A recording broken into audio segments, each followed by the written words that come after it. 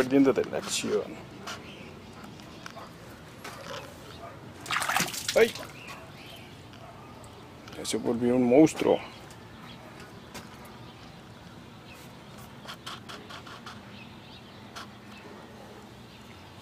Ahora na- nada lo tiene contento este chavo.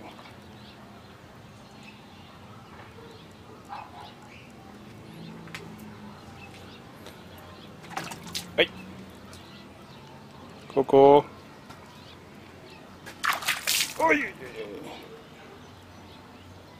Bueno, ya no lo molestó.